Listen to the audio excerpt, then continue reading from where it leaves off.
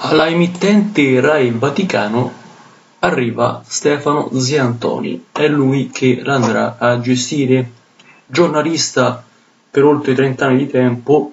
vi ricordo che è stato nell'organico del TG1, ha avuto tante esperienze che ha avuto, ripeto, nel corso del tempo, nel corso degli anni,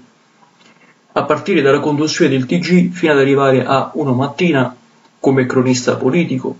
e a seguito di presidenti importanti del nostro paese, del nostro Stato, fino ad arrivare, pensate, al presidente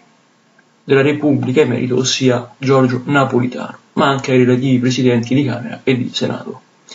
Dal 2014 al 2022 è stato corrispondente dalla Francia sempre per la RAI, l'azienda di radio e di televisione italiana per eccellenza,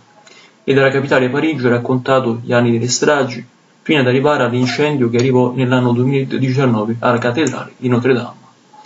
E adesso si appresta per l'appunto ad arrivare a Rai Vaticano, un impegno, ma è un'esperienza che sicuramente metterà frutto e che secondo me avrà, diciamo così, un bel interesse e un bel concentramento nell'ambito di energie che lui andrà a, a spendere nei confronti di Rai Vaticano. Auguro a Zantoni ogni bene, complimenti, ossia congratulazioni vivissime da narratori italiani e tutto e soprattutto tanti auguri di buon lavoro a lui. Iscrivetevi, commentate, questo video ovviamente non vuole ledere la privacy di per l'appunto Stefano Ziantoni ma solo informare eventuali persone. Nasce solo per questo motivo, non per altri motivi. Da narratore italiano è tutto, ciao a tutti.